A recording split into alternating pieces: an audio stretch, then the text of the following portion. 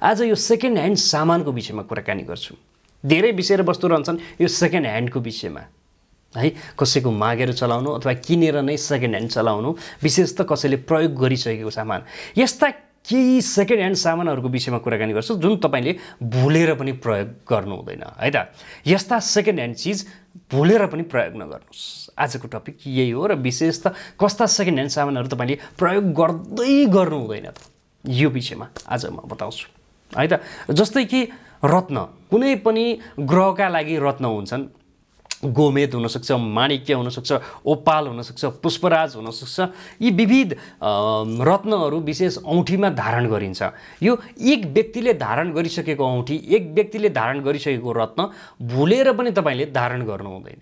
यसको कारण के हो त भन्दा एउटा व्यक्तिले ग्रहको उपचारका लागि लगाएको रत्न तपाईँले फेरि प्रयोगमा ल्याइदिनु भयो भने त्यो व्यक्तिको दशा जति सबै तपाईँको टाउकोमा आउँछ र तपाईँलाई समस्यामा पारिदिन्छ। त्यसैले पनि एक व्यक्तिले प्रयोगमा ल्याइसकेको रत्न तपाईँले प्रयोगमा ल्याउनै हुँदैन। यसै गरी रत्न मात्र होइन औँठी पनि तपाईँले प्रयोगमा ल्याउँदै नलानुहोस् यसले ठुलो धोका हुनसक्छ जीवनमा ठुलो घाटा हुनसक्छ र ठुलो दशा लाग्न सक्छ। यस्ता सेकेन्ड ह्यान्ड चिज मैले बताउँदैछु। रत्न र औँठी तपाईँले प्रयोगमा ल्याउँदै नल्याउनुहोस् है त सेकेन्ड ह्यान्ड चिज यसै गरी गरगहना।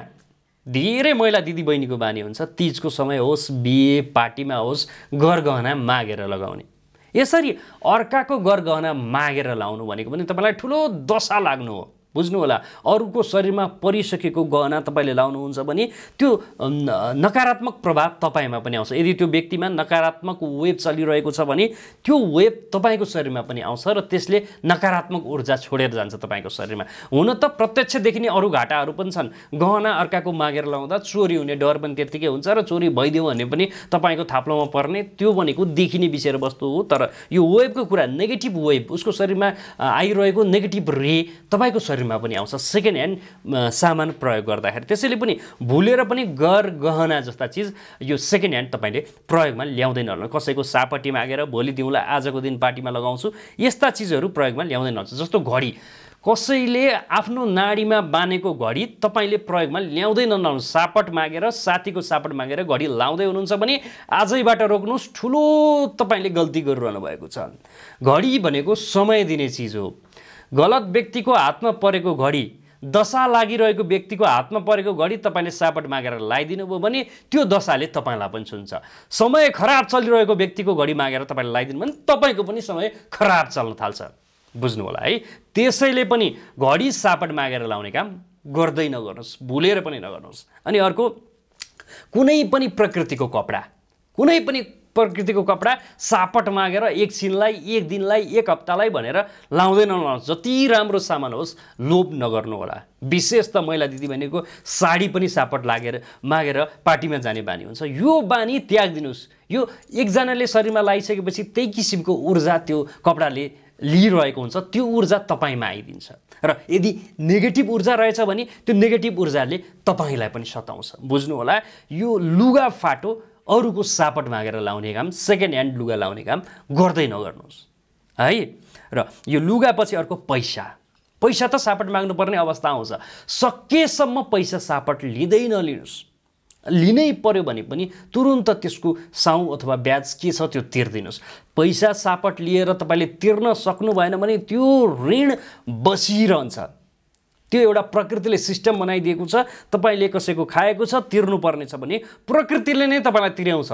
भोलिको दिनमा ठुलो घाटा हुनसक्छ। त्यसैले पनि पैसा सकेसम्म कसैसँग सापट लिँदै नलिनुहोस् लिइहाल्नु भएको छ भने पनि तिरिहाल्नुहोस्। है केही यस्ता विषय र वस्तु सेकेन्ड ह्यान्ड प्रयोग नगर्नुहोस् मैले आज बताउँदैछु। यसै गरी पैसापछि खाट।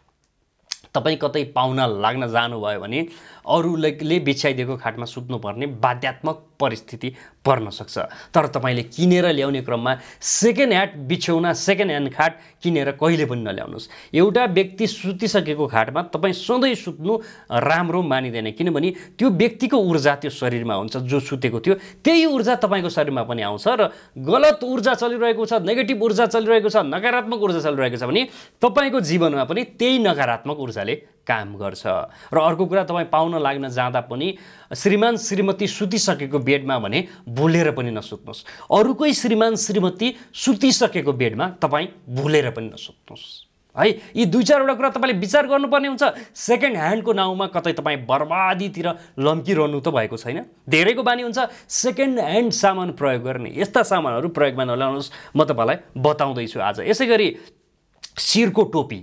कसैले लगाइरहेको टोपी भुलेर पनि मागेर नलगाउनुहोस् अथवा आफ्नै हातले झिकेर त झन् लाउँदै नलाउनुहोस्।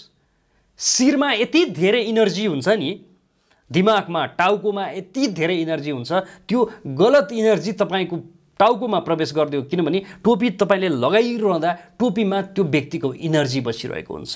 यदि त्यो व्यक्तिमा गलत इनर्जी छ नेगेटिभ इनर्जी छ भने त्यो इनर्जी तपाईँको पनि शिरमा आउँछ र टाउको दुख्ने समस्या छ भने टाउको दुख्ने समस्या तपाईँमा पनि आउँछ। गलत इनर्जी छ भने गलत इनर्जी तपाईँको शरीरमा प्रवेश गर्छ। त्यसैले यो टोपी शिरको टोपी त सकेसम्म अर्काको प्रयोग गर्दै नगर्नुहोस्। अझ आफ्नै शिरले आफ्नै हातले झिकेर लगाउनु भयो भने त त्यो जति ठुलो दशा अरू केही हुँदैन। बुझ्दै हुनुहुन्छ है? महत्त्वपूर्ण ज्ञान तपाईँलाई आज दिँदैछु। भुलेर पनि यी यस्ता सेकेन्ड ह्यान्ड सामानहरू तपाईँले प्रयोग नगर्नुहोस्। म बताउँदैछु। यसै गरी घडीको सन्दर्भ अघि नै जोडिसकेँ। घडी भनेको समय हो। घडीको विषयमा त मैले अघि पनि बताएको कलम। कसैले लेखिरहेको कलम एकछिनलाई भनेर सापट्टि मागेर लेख्ने काम कहिले पनि नगर्नुहोस्। समय चक्रसँगै यो एउटा सानो कलमले पनि तपाईँलाई ठुलो दुःख दिन सक्छ। कलमभित्र मसी हुन्छ। विशेष त मसी शनिदेवको कारक। अनि शनिदेवको कारक चिज तपाईँले सापट मागेर प्रयोग गरिदिनु भयो भने यसले पनि तपाईँलाई ठुलो धोका हुनसक्छ जीवनमा ठुलो घाटा हुनसक्छ त्यसैले भने कलम पनि सापट्टि मागेर चलाउने काम नगर्नुहोस्। बरु किन्नुहोस् एउटा कलम किन्न ठुलो कुरा रहँदैन।